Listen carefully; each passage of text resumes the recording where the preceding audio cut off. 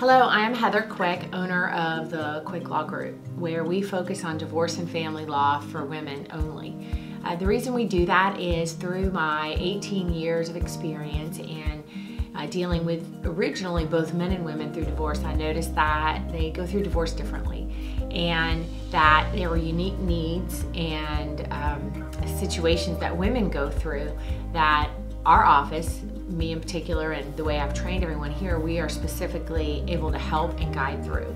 A lot of it just has to do with strategy and anticipating what the other side's going to do. And therefore, really began to narrow our practice to focus only on women so that we can really help you get through this process in the best way possible and achieve your outcomes and goals because that's what it's all about at the end of it. Today, we are going to talk, what I'd like to talk about is something that I get asked very often is when you have a high net worth divorce, meaning there are a lot of assets, which may be in the form of property, investments, could be a business. A lot of times when there's a small business in a divorce, that's the major asset. So it's very important to get that evaluated correctly. And, um, or just, you know, both high earning individuals, you both invested, and how are we going to deal with it? So today I'd like to talk about the three things that women need to know in a high net worth divorce. You know, what are the three areas that I think I get the most questions about? How can I address that for you and potentially answer some questions or maybe just get you thinking about some things? Because a lot of times when we're entering in this process, you'll find you don't know what you don't know. So our job as uh, legal, um, your legal team and advisors is to bring up these topics. Get your mind thinking about certain things so that we can delve into that topic and answer some questions or maybe present you with a situation that you hadn't quite considered so that we can then really find out how is this going to get you uh, where you want to be in the future. So, first thing that is going to happen quite a bit in a high net worth divorce is there are going to be other experts. Now, this may seem like a daunting thing, like right now we have to have experts and this is gonna be more expensive because we are paying experts in addition to the attorneys. However, it's going to end up saving you money. Um, and I'll tell you why. When we're dealing with different types of property and um, investments, we really need to understand because as if you've watched any of the videos before, not all property, not all assets are really created equally. A lot of difference in you know what's today's value maybe what is retirement value are all are we comparing apples to apples rather than apples to oranges? Because that's important. If we are dividing everything 50-50 which is what the law is in Florida as it relates to the assets and liabilities we need to make sure we are one looking at them the right way and accounting for it that way.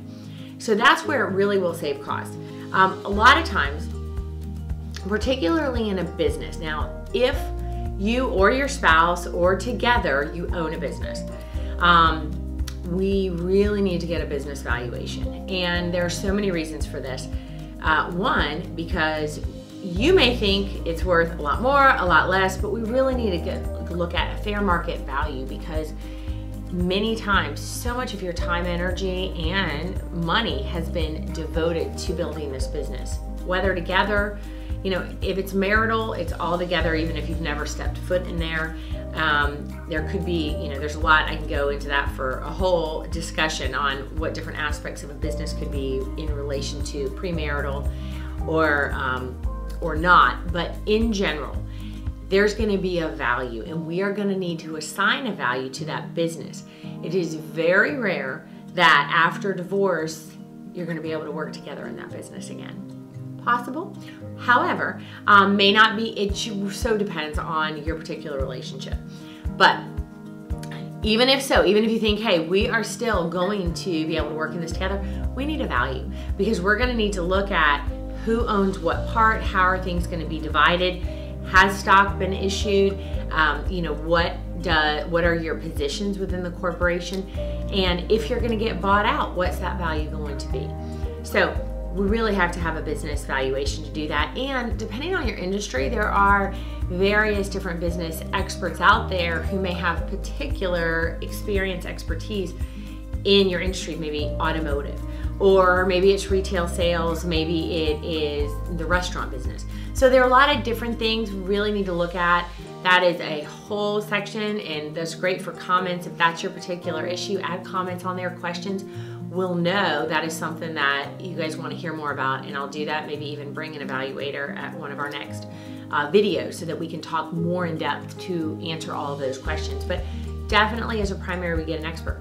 And sometimes what we do is either, you know, in our representation of you or your husband's attorney, we start with one expert. And let's just see, because everyone typically has an idea of what they think the value will be. Let's get one evaluation and let's see if we think, hey, that looks pretty reasonable. What we've done many times before is one expert does a full-on evaluation of the business. Um, and then we'll look at it and just kind of intuitively know and more than intu intuition, it's our based on all our years of experience, our understanding of the industry. We think either, and eh, that might be a little bit low. So then we just consult. We don't do a full um, second evaluation. We just get a consultant to say, hey, these are the things that I agree with, disagree with. This is maybe, I think they're off a couple hundred thousand, or it could be a few million. That's valuable information, very valuable, because we just need to know um, are you leaving anything on the table? What do we have to work with? So we do that a lot. And like I said, we generally start with one. Why hire two full-on experts at the very beginning until we really see, you know, where uh, their perspective is? Because if you, um, ones that are really done well, I have found that the experts are, are very close, just a few percentages off of each other as to what they think the value is. Doesn't happen always, but it does happen. Um, next, as far as within the experts, um, sometimes a forensic accountant. That will happen when there is maybe concern, where's the money? Where has it gone? And so dig, dig deep in it. Everybody knows forensics from like the television shows that go on on the criminal side and scientific. It's really just an in detailed look at kind of, again, determining where is the money, where's it going. A lot of times you'll know the lifestyle, you know, costs, you know, could be, you know, fifty to $100,000 a month. But then the income, you can't find how, how is this being supported. So sometimes it's just a backwards look at it and um, really looking at all of the things that come into play. So that's where forensic accounting comes into the picture under our list of experts. Not always, but we do do that. Um, we generally are always going to have you consult a CPA, and they may be involved with the process as well because we want to know what's going to be the tax effect of anything we're looking at from a standpoint of settlement. And then, you know, all of these things build to settlement. And then if that doesn't happen, you've done all the work that will need to take place at trial. A lot that happens in a trial is really educating the judge from a standpoint of this is our situation and if you award these assets to this uh, individual, this will be the what we call tax effect of that. So that's again a comparison of maybe apples to apples. So we need to add in that tax treatment so that we know two properties worth um, a half a million each may not net equal that amount. So it's just really important. It can sound super complicated, but that's why we have a CPA in there to help us get to the answer of that. And one last, not the last expert, but one that you will see frequently will ask you is, do you have a financial advisor? And is this somebody you've worked with?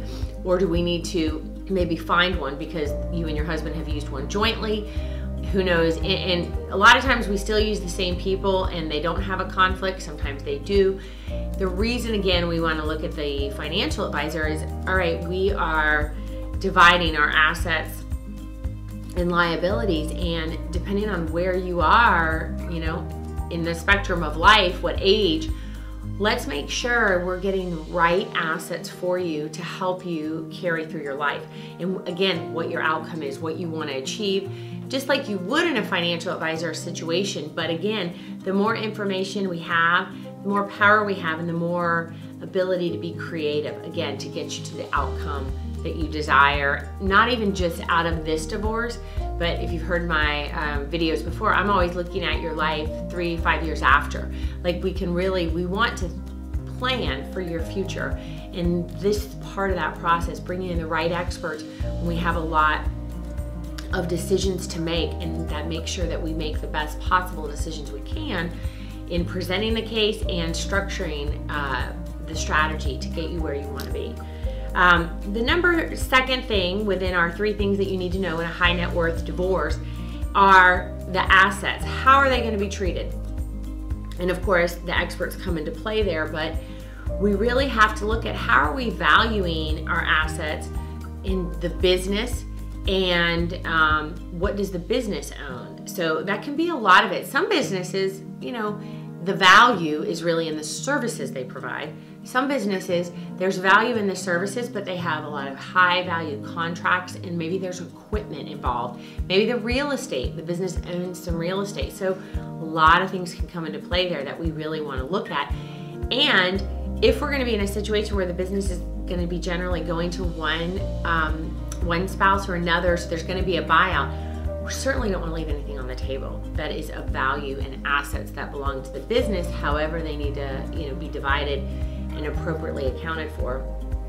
Rental properties are also an asset that we look at, and we look at it differently than say your marital home and other property. Excuse me, but in the reason being rental property can um, sometimes it works as a loss on your tax return. And I'm not a CPA, so this is not uh, financial or accounting advice. However, in our experience, we know enough to say, hey, let's talk to our accountant because we have certain rental properties, and they're a lot like we talked about tax effects, tax issues. May value one spouse or another. Really want to look at that how that will you know how that will impact you. Could be a real advantage to having rental property with the other assets that you're looking at. So that's just you know how we look at that and why because it may be um, and your husband saying well that rental property I just, we just lose money on that every year so I want you don't want that well you might because it might really give you a tax break it may be something that's valuable so, and I've talked about this in other, you know, videos we've done, certainly seminars. Want to look at all of those, want to really dive into the tax returns to understand how that will end up at the end of the balance sheet, you know, how you'll net on that. Same with the marital home. That tends to be, you know, when we have that um, divided between the parties, obviously we either have to sell it, one person gets it versus another. Want to look at how that affects um, again, the balance sheet and where you want to be in the future. It may not be something that you want to have. So often, the home, you know, and it's just normal. It has just so much emotional ties, especially if you've been in a home a long time or if you custom built it, you spent so much of yourself pouring into making this so beautiful. But now it has, it's really an expensive piece of property that's going to cost a lot to maintain. And what can happen a lot is the emotionality tied to that asset, you value more than another buyer is going to value. It's really important to really just be clear about that. Let's look at how that's going to affect you because those emotions and that, you know, those ties to the property that could be to your detriment if that is the only reason you're making that decision and not always, but at least it's worthwhile to look at it from a clear perspective and what it's going to cost to maintain this. And are you giving up other investments and assets all for this? And that can be dangerous because then you're not diversified. And as we know, you don't want all your eggs in one basket, certainly not in property based on what we've recently experienced uh, a few not you know hasn't been that long a few years ago. So it's just really important from my perspective to help clients see the full picture on the assets. Um, we're going to usually want an appraiser. Again this is similar to business valuation and it tends to not always be as high as we think it would. But sometimes we're surprised um, you know, from a standpoint of the clients thought, oh, well, this is definitely worth $5 million. The appraisal comes back at three and a half. It's frustrating. And at the end of the day, that is just information to base decisions on. It's worth what somebody's willing to pay for it. And until the buyer comes and pays for it, we don't really know. So we're trying to get a good picture of it. And it may just be that we decide, hey, let's just put it on the market and split what we get. You know, that is always an option. But those are things that we're going to look at. And on commercial property, you need to get appraised too, because again, want to have true numbers and values to make decisions on it's just never good to be guessing when we have various options because if we guess wrong, that is your future. And you may not even recognize the valuation was wrong until it's too, too late. Usually you're not until it's too late, and it's much further down the road. So that can be very difficult. Um, one other thing in assets that we have dealt with frequently is, you know, in other states. Um, you know, and that works fine. We get appraisals in other states. We've had them in other countries before, in other property. We deal with that as well. A lot of times, um, even on collectibles, I will tell you, sometimes there's a lot of value in um, things that, you know, one person values and the other spouse is like, that's a bunch of junk. Well, it might be worth a personal property appraisal because you would be surprised at, you know, the collectibles that can have a lot of value. Again, don't leave it on the table. It, um, it's really important because things just add up quickly. Same with jewelry and watches and artwork. That seems to be you know, tends to me at least people think, well, okay, of course we'll do that. But sometimes there there's a lot there and it's worthwhile to go through. Hire the appraisal, spend the money because you'll end up now that you know the value, saved a lot. So it was really money well spent, information now that you have to base decisions on. Because when we are dealing with a divorce from the asset and high net worth, it's very much like a business transaction and we need the numbers because the numbers are what are going to tell the story and help us plan how to move forward in the future. So, uh, I would be remiss if I didn't talk about alimony. I always talk about alimony, but it's still present even in a high net worth divorce because just because there's a lot of assets to divide does not mean that alimony does not come into play. It's really important to understand that you think, well, if I'm going to get all of these assets, I'm not going to get alimony or I won't have to pay alimony. Again, it just depends because it depends on how we've divided those assets. The biggest area where I think it will affect alimony is if some of those assets are income producing. So there's an example of that would be, um, you know, IRAs, and you've reached the age where you now are taking disbursements. That's clearly going to be income um, or your spouse already retired and the pension is divided. So now each of you, or the 401k, each of you are getting a certain amount. So then that's going to affect your income. Even though it's the division of an asset, it's actively producing income. Same with rental property.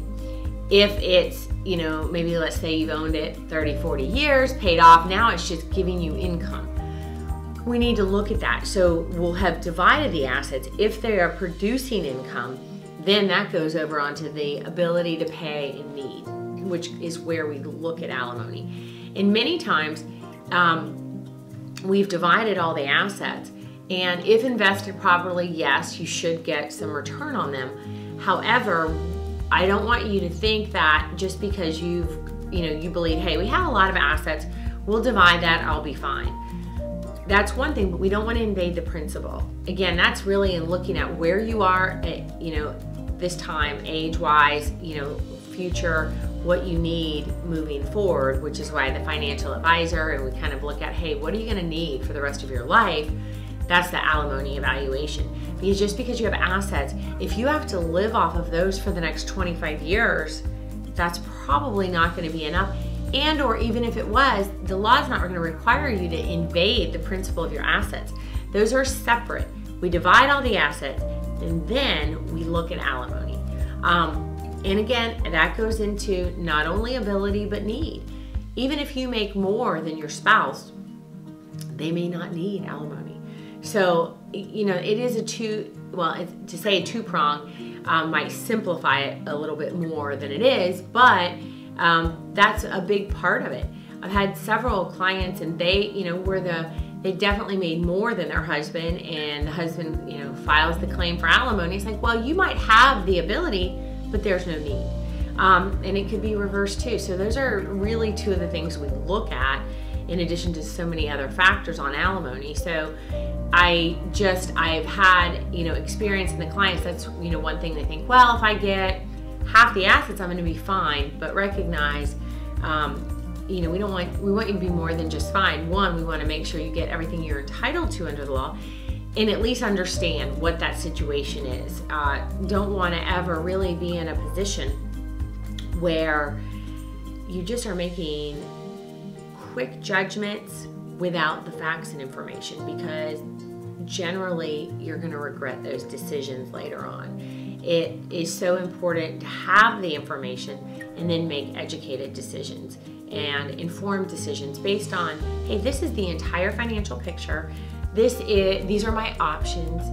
Then in the advice of your attorney hey this is what i think you should do.